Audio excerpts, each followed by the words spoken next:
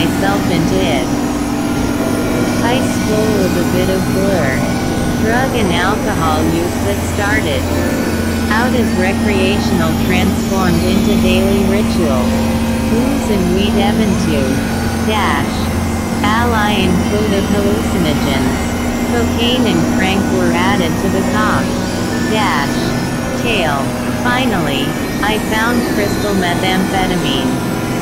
I did meth for the first time during my senior year of high school. Something was different about this drug. I felt invincible. I felt like a god. I became a near daily meth user from the start. Meth became a swift wrecking ball in my life. Within three months of use, I had dropped out of high school and was stealing as a way to support my habit. When I first started stealing, I tried to have some semblance of ethics about it, ridiculous as that sounds. I didn't steal from individuals. I didn't steal from cars. I didn't steal from homes. But my willingness to cross boundaries with stealing followed a similar progression as mine. Willingness to try increasingly harder drugs, and I eventually found my dash.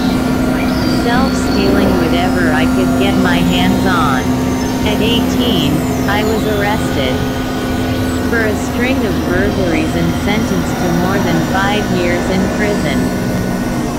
I paroled at the legal age for drinking. During my time in county jail, in prison, and on parole, I was introduced to recovery.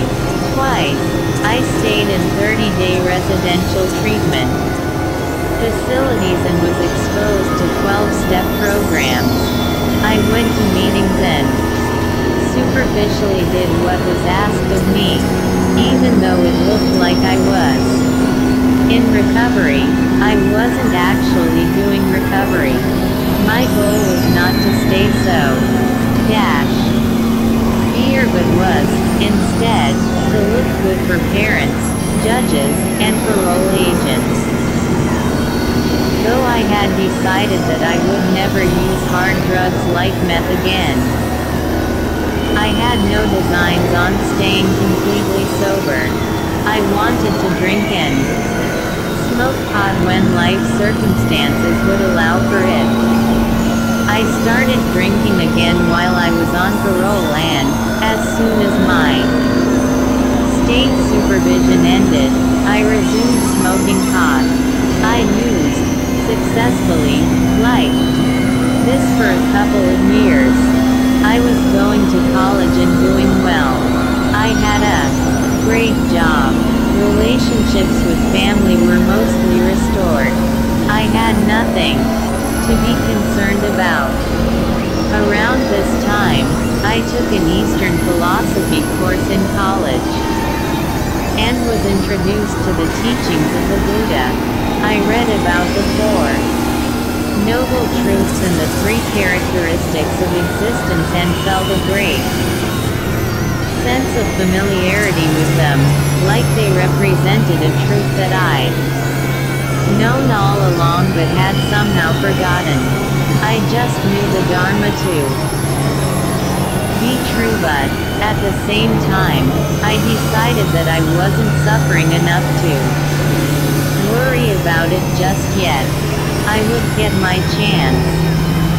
A couple of years after leaving prison, one of my closest child, Dash, good friends committed suicide in a very violent manner. It was the flow, Dash. S death had come in my life thus far and it shook me. I felt like the world was crumbling in on me, that I'd been emotionally and spiritually shaken from a foundation. I didn't know how to cope with the way I felt. And I didn't have the inner resources to ask for help. I became a daily drinker and relapsed on methamphetamine a few months later. I started stealing again and my life snowballed in the same way.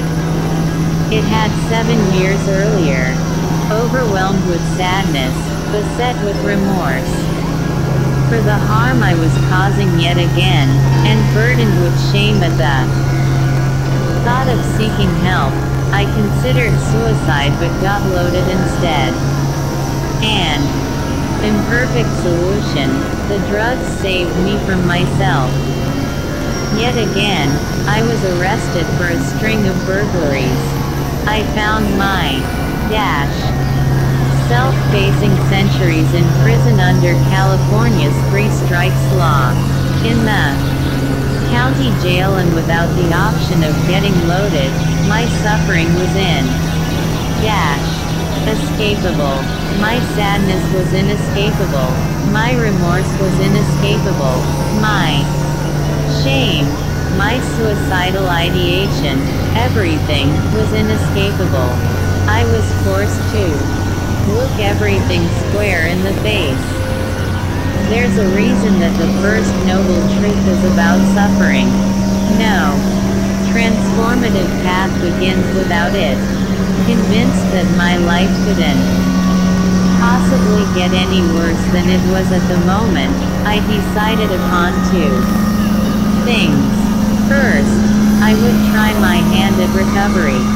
The worst thing that could happen was nothing. Second, recalling the Buddhism I'd encountered in college three years earlier, I'd give meditation and the Dharma a try. That was in 2005. There was no mindfulness or Buddhist base recovery available, so finding recovery and following the Dharma started out as separate paths. On one hand, I started going to 12-step meetings in the county jail, found a sponsor on the streets, and began the process of writing inventories and making amends. On the other hand, I started meditating as best as I knew how. Without a teacher, the internet, or a saying. Dash. Ah, I relied solely upon the books that family would generously send me. I completely misused meditation when I first started practice. Instead of using meditation as a method for meeting reality, I used it as an escape. In this way, meditation served as a substitute for the drugs I no longer had easy access to. I do not judge myself for using my practice this way in the beginning, in so many ways, it was exactly what I needed. At the time, I would eventually develop the skills to face my reality more squarely, but it would take time. After a year and a half in the county jail, I accepted a plea bargain of 14 years in prison. By the time I arrived in Folsom State Prison, Later that year, I'd been clean from drugs and alcohol for nearly two years. I was prepared to start mentoring other incarcerated men in recovery, and my meditation practice was becoming consistent. At Folsom, I finally sat in meditation with other people. Two nights per week, I met with Sangha in the fabled Greystone Chapel. F.A. Dash. Facilitated by volunteers from the outside, these groups were where I really came to understand what mindfulness practice was about. I finally had fellows on the path, and I finally had teachers. Both were absolutely NEC. Dash necessary to the flourishing of my meditation and Dharma practice.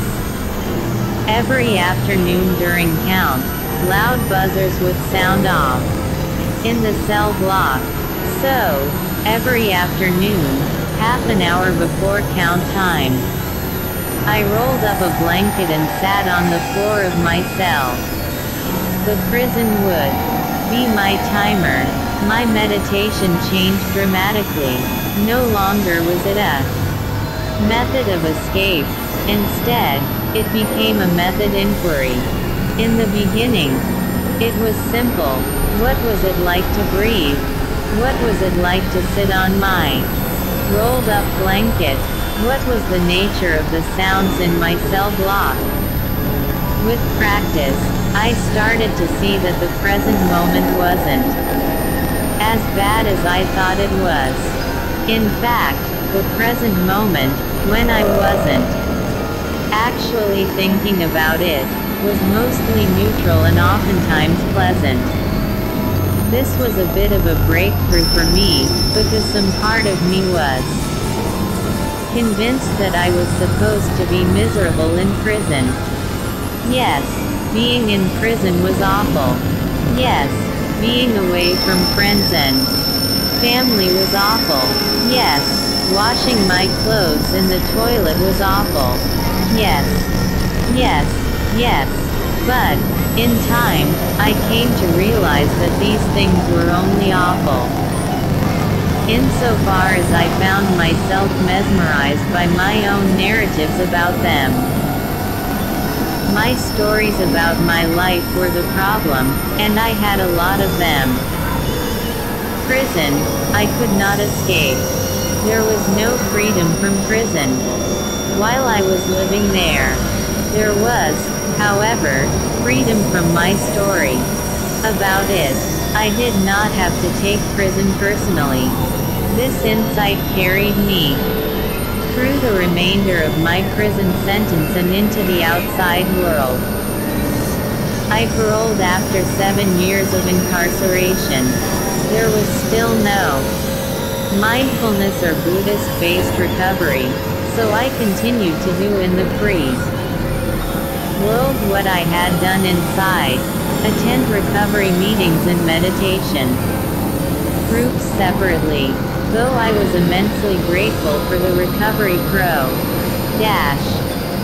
Gram I had, I nonetheless translated a great deal of the 12-step program into Buddhist terms and practices which better aligned with the way I move through the world. Finally, after 10 years of renunciation from drugs and alcohol, a Buddhist-based path of recovery was developed and I helped to establish it in my local area.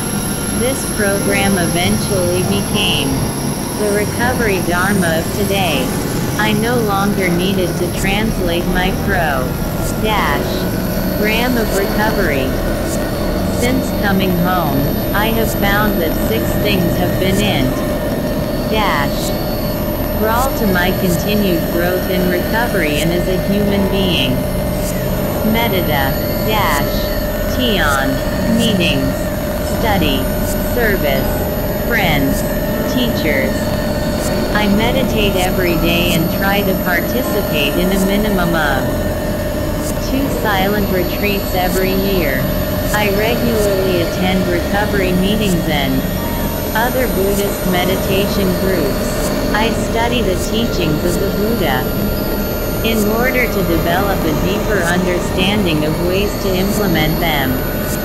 In my life, I take on service positions in my recovery Dharma groups and share the message of recovery and of the Dharma wherever I can.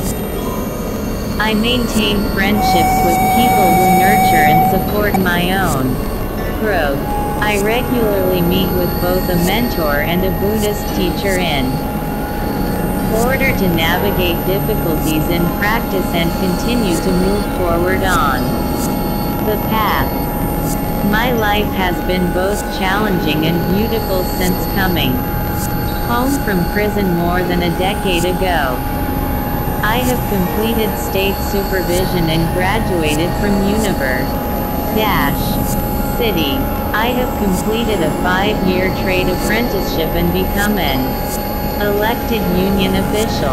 I have gotten married to a wonderful woman in recovery and become a homeowner. I've traveled to Buddhist pilgrimage sites in India and participated in extended meditation retreats at home and abroad. I have received lay ordination within a Buddhist tradition and started teaching the Dharma to people in California prisons. I have also navigated complex PTSD and started to unlearn free. Dash. On survival strategies that were no longer useful to me. I have been present.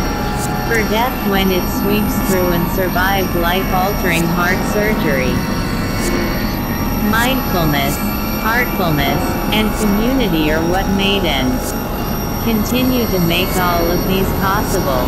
As one of my teachers has said, Dharma practice has the capacity to transform the very nature of suffer. Dash.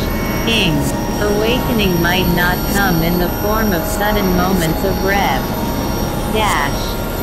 Elation, but instead may entail the gradual digestion of pain and trauma. Over the years, I have progressively come to see the good that has come from past suffering and I try my best to carry that perceptive in the press. Dash. End moment, reshaping it with wisdom and love. One line from recovery. Dharma's dedication of merit stands out to me, as we have learned from practice. Great pain does not erase goodness, but in fact informs it. This isn't just a platitude. It's a promise. Berlinda. Content warning.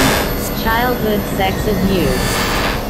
My story shows how a person can go from real hardship to a life of balance using community, prayer, the Four Noble Truths and the Eightfold Path. Trauma made me want to numb myself with substance. Dash. S and my practice has allowed me to feel those feelings from the past. Without reaching out to something to harm myself further. My childhood was pretty rough. I was raised by a woman who was a sex worker and when I turned 11 years old, she started to traffic me as well. I learned to leave my body and disassociate because that was the only way I could deal with it. I lived that way for a long time. My mother didn't allow us to play with other children of color. We would get beatings for that even though she was dark. A. Morena, herself. Eventual. Dash. Lee, I was placed in a children's mental institution because I stopped talking. I was there for a couple years before they sent me back to my mother. When I got home, one of my abusers was visiting my mother so I ran away the first day I came back. As soon as I saw him at the top of the steps, I took off. There was a local delivery boy who I liked and he let me hang out at his apartment while he was working. I told him I didn't want to go back home and about what was going on there. He told me that when he came back from work he would have something for me and that ended up being a bottle. I took that first drink and it felt like, my God, where have you been? Everything disappeared from my mind. I just wanted to have fun. I was giggly for the first time in a very long time. I had stopped going to school during the third grade. There were no social services at the time, at least for my neighborhood. You didn't see them unless the school complained. I was in and out of Jew. Dash. Venal detention and one female lawyer told me I was inappropriate. Dash. Lee dressed for court and gave me her own stockings to wear for the proceedings. I wanted to stay with her because she was nice to me. At 15, I was emancipated from my mother and began work. Dash. Ing at a bar. This older lady I met on the bus asked me if I wanted to work. I thought it was going to be cleaning houses or something but when I asked her what she wanted me to do she told me about the bar. The first day I went in for the interview, I had never been inside a bar B. Dash. Four and they were putting all these shot glasses in front of me and I asked the lady, Miss Mary, what the shot glasses were for. She told me eagerly that men were buying me drinks. Since I didn't like the taste of alcohol, she taught me how to make a lemon drop chaser with a slice of lemon. Covered in sugar, I got hooked on those. I drank for the sensation. I got myself ready for drinks. It was a treat. This was in 1970 at the Golden Slipper on Webster Avenue in the Bronx. Eventually I found out the go-go dancers at the bar made a lot more money than I did, so I started doing that. I liked it because I didn't actually have to get involved with the men, it was all an illusion. I go. Go dance for nine years and made a lot of money. I worked long hours at different places around the city and I drank through all of it. I didn't know that I had crossed that invisible line of addiction. I would isolate and drink. I didn't want to share my drink. I would get territorial with my alcohol. I would keep cups of alcohol around my apartment in differ dash and rooms one in the bathroom next to the toothbrush, one next to the bed which I would reach for as soon as I woke up in the morning. I gave birth to my daughter when I was almost 18. My mother took her because it was either sign her over to my mother or release her to the system. I didn't raise her myself because I couldn't stay with my mother, and I thought that at least I could still see her if she's with family. I met my husband in the neighborhood. We went to a party together and he came home with me and never left. When I met him, he was sniffing heroin and drinking but I made him stop the heroin. He said if I stopped dancing he would marry me the next year. We had a son. And, when he was three, my husband wanted us to move to Virginia Beach. Dash. Cause his family was down there. We both got jobs. He did maintenance. I cleaned houses. He started getting abusive to the point where I would check into a psych ward for the weekend just to get away from him for a while, I applied for a job at the Department of Corrections dock and he hid the acceptance letter from me under the mattress. He didn't want me making more money because he wouldn't have as much control over me. In May 1990, I received my first paycheck from the dock, and I got my own apartment. I put up bunk beds and gave my son the bed. Dash. Room while I slept out in the living room on a daybed. During my second or third year at the dock, I went to a party with fellow officers and they had a lot of coke, so me and another girl went into the kitchen and started cooking it. At the time it was called freebasing. Before I left the party that night, I was addicted. I ultimate. Dash. We stopped using crack because of my son. I went to my major and told her I had a problem, and they sent me to rehab. I was sober for a long time until I met Kina working a temp. Job at Great Adventure. We figured out a scam where we could pocket ticket money directly, and one day we made $1,500 each. Kina wanted to score drugs with the money, and I told her I would have just a little bit. But we were up all night long. That's when it started up again.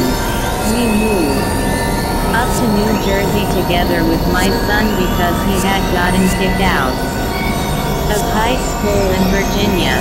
He didn't want me to be with Kina, and so he moved out, which hurt me. He felt like I picked her over him, but I felt like my personal relationships were none of his business.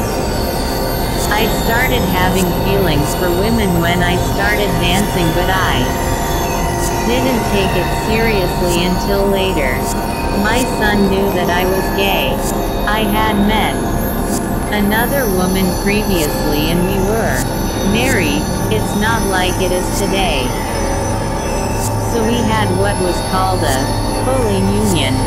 The ceremony took place at a gay church and the pastor asked us what colors we were using in our wedding and we told him purple and silver.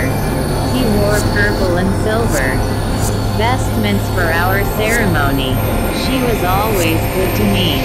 Even after we broke up she helped me raise my son, and they're still in touch to this day. She helped me pay rent and got me a new truck, but all that stopped once. Kina came into my life. Kina and I would argue over who did more of the drugs. I tried to solve our problems by moving, but as soon as we set foot in our new town she was out looking for drugs again. I found a job working for an elderly lady, and she had two large pickle jars full of quarters at her home, and Kina went in there and stole all that lady's money. And, of course, I got fired. One day when Kina didn't come home, I called Catholic Charities and they put me in a hotel and got me a ticket out of there. Something told me to not look back or say goodbye or nothing. I was so concerned with getting away from her I didn't notice the days and months of sobriety stacking up. Eventually I came back to New York and started hanging out with the wrong people and picked up crack again. It was something F.A. Dash. Familiar. I lost my apartment and found myself living in an abandoned building with a bunch of other drug users. I moved to a shelter which is where I attended my first 12-step meeting. I went to so many meetings that the facilitator told me I was ready for a meeting outside the shelter. It was on Broadway between 106th and 107th Streets. That became my home group and the shelter found me in a park. Dash. Meant and I moved back to the Bronx. 12 steps showed me that I was mine own worst enemy and that the only reason I am where I am today